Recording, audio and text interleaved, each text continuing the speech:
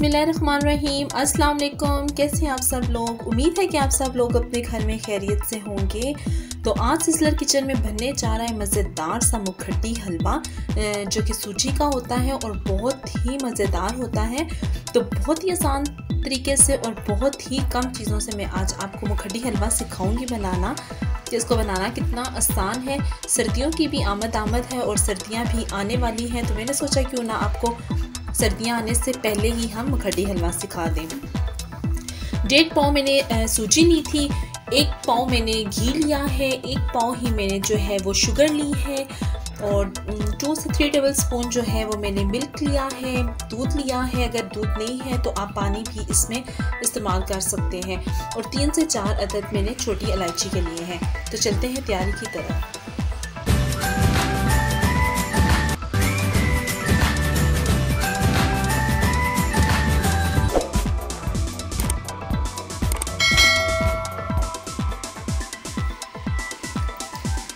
पहले यहाँ पर मैंने एक कढ़ाई ले ली है फ्लेम मैंने कर लिया है अपना ऑन तो अब मैं इसमें शामिल करूँगी सबसे पहले शुगर जितनी मेरे पास सूजी थी ना, सूजी को मैंने जो है वो उससे हाफ़ मतलब डेढ़ पाव थी तो एक पाव मैंने जो है वो चीनी ली है।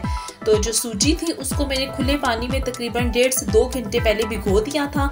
दूध में भी आप इसको भिगो सकते हैं और पानी में भी आप इसको भिगो सकते हैं। अभी हमने चीनी में और कुछ भी शामिल नहीं करना। थोड़ा सा हम जो है वो इसको ऐसे ही मेल्ट होने देंगे।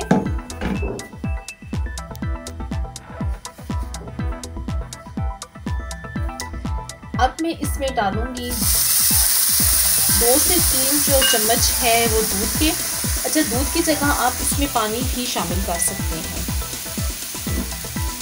पानी भी ज़्यादा नहीं डालना, बस बिल्कुल हल्का सा ये जो हमारी चीनी है वो मेल्ट हो जाए थोड़ी सी। अब हम इसको पहले मेल्ट करेंगे। हल्की आँच पे। आँच अगर हमने तेज़ की तो वो हमारा जो लेसदार सा हमें चीनी का मिक्सचर चाहिए ना, वो नहीं होगा। वो फिर ये होगा कि चीनी हमारी एकदम से जो है वो ब्राउन हो जाएगी। तो आँच हम जो है वो अपनी स्लो करेंगे।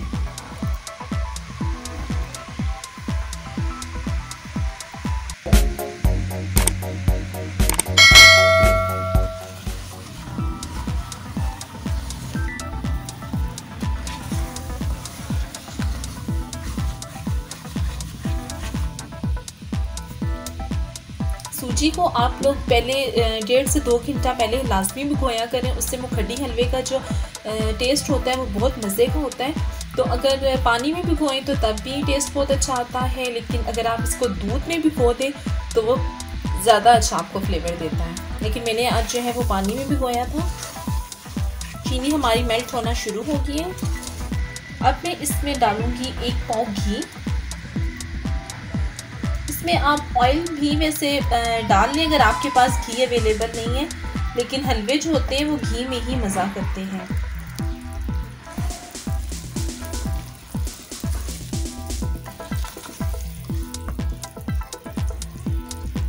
अब हम चीनी और जो हमारा घी है, उसको हम मिक्स करते हैं।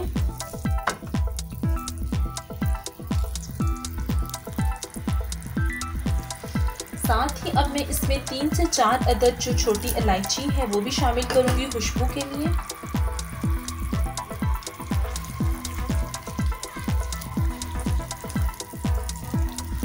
आँच या तो हमने स्लो रखनी है या स्लो से थोड़ी सी आप मीडियम कर दें।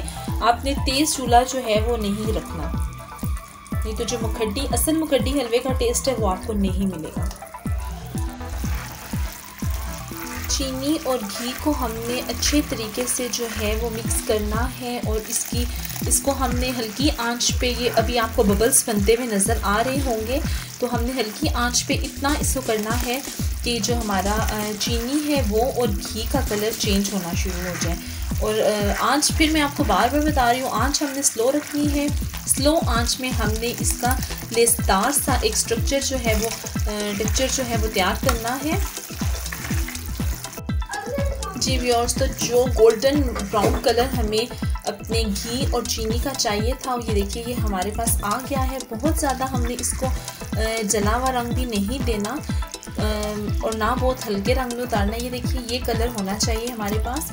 अब ये इसमें लेस ये देखिए, ये लेस बनना शुरू हो गई है, जो हमारे मुखड्डी हलवे के लिए बहुत ज़रूरी है।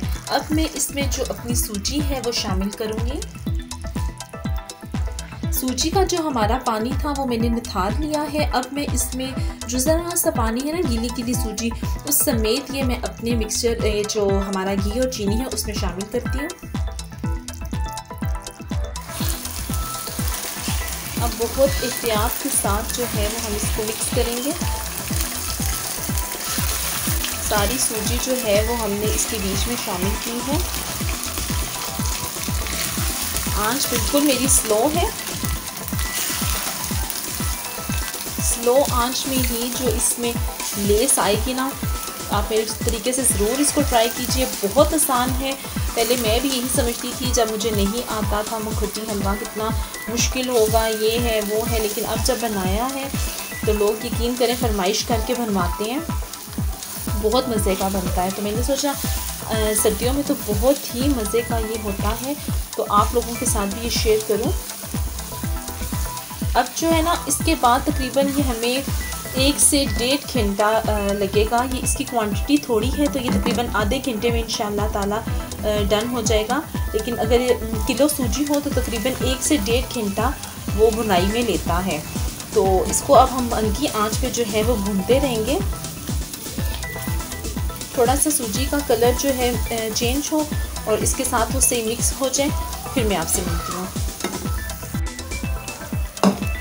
मुसलसल हमने चम्मच चलाना है। इसको कलर ब्राउन करना और इसमें चीज़ें वगैरह शामिल करना। कोई इसमें क्या कहते हैं कि फनकारी नहीं है। सिर्फ़ इसमें जो है चम्मच चलाना मुसलसल।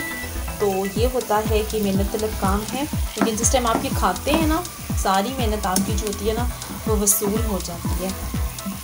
इस तरीके से ना आपने सारा हलवा हमारा जो है वो मिक्स होता रहे साथ साथ और उसमें जो एक वो लेसदार पन है वो आ जाए, क्योंकि इसको हमने छोड़ना बिल्कुल भी नहीं होता, ये साथ लग भी जाता है। साथ साथ मैं इसको भूनती हूँ, फिर आपसे मिलती हूँ। जी व्यूअर्स तो यहाँ पर ये देखिए तकरीबन 10 मिनट हो गए हैं मुझे हलवे की बुनाई करने में। हल्का हल्का सा इसका जो कलर है वो भी और ज़्यादा डार्क हो रहा है। जी व्यूअर्स तो यहाँ पर मुझे हो गए हैं तकरीबन 30 मिनट इसकी बुनाई करते हुए।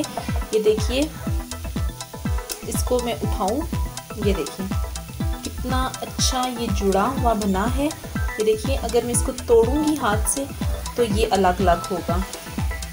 कितना ज़बरदस्त इसका कलर आया है और कितना ज़बरदस्त ये हमारा जो मुखड्डी, असल मुखड्डी हलवा है, वो तैयार हुआ है। लुक देखिए आप इसकी। और ये इतने मज़े की इस टाइम खुशबू आ रही है सिजलर किचन में और बहुत ही मज़े का ये हलवा तैयार हुआ है। मज़ीद मैं इसको पाँच मिनट भूनती हूँ। उसके बाद मैं आपको डिश आउट करके इसकी फ़ाइनल लुक दिखाती हूँ। देखिए क्या ज़बरदस्त इसका हमारा जो है वो कलर आया है। और ये बहुत गर्म है अभी और ये बस मैं आपको ज़रा सा दिखा रही हूँ कि देखिए कितना अच्छा हमारा जो है वो जुड़ा हुआ हलवा मुखड्डी असल मुखड्डी हलवा तैयार हुआ है। तो थोड़े से मैं अब ऊपर से जो है वो बादाम डाल देती हूँ गार्निश के लिए।